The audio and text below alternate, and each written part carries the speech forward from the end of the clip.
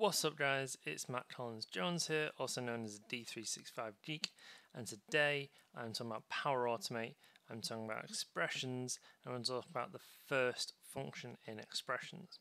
So what is first? First is a function that allows you to return either the first part of a string or the first value in an array. So if it's a string, for instance, um, it will return the first character. If it is an array, it'll return the first value in that array. Let's take a look at it. So I'm here in Power Automate. I've got my, um, my manual trigger input here, and I've got a single text input um, up here. I've got a compose action. Click in compose, go over to expression. Uh, I'm going to scroll across a little bit. I'm going to expand see more in the collections then I'll scroll down to first. So this one is just wanting a single parameter of just the collection that you're passing in and it says here it returns the first element of an array or a string passed in. So if I click first and then switch over to my dynamic content and go to my input uh, I can then um, get the first of whatever I'm putting in here. So if I click OK and then click test. Uh, I'll perform the action.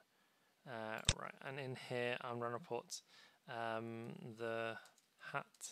Uh, the hat is red. And I click run flow. Click done. Uh, wait for my screen to update maybe. I think maybe this has had a bit of an issue. So we'll just go into our runs. All runs. Uh, test succeeded. Right, okay. Here we go. Uh, no, that's my old one. So maybe this didn't run. Oh, 30 seconds, there we go.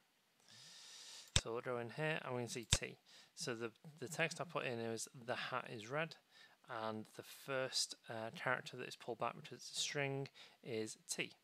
So that's what that does. So if you um, have need to pull back the first character string, that's what this can do. But we can also use this in an array. So let's take a look at that.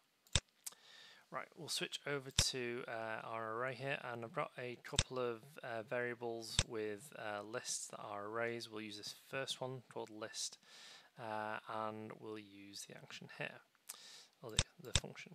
So click into compose again, and again we're going to go to expressions, we're going to scroll down, uh, expand collection, and click first.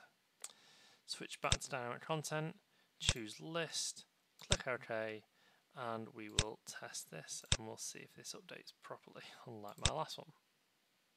Click done, run successfully, compose, and here we go. So what this has done is this has looked at this entire array and this has gone right what's the first set of values in here? Like what's the what's the object that we're passing in? So that is this bit here and it's output that into here. So it's kind of unlike when you use this with a string and it only returns the first character, it's not returning the quotation marks, it's returning the entire uh, value here. So that's why this is really useful. Sometimes you need to get uh, the first part of something so you can use this to do that. And you can also use this in conjunction with other functions and other uh, expressions to get the thing out that you need.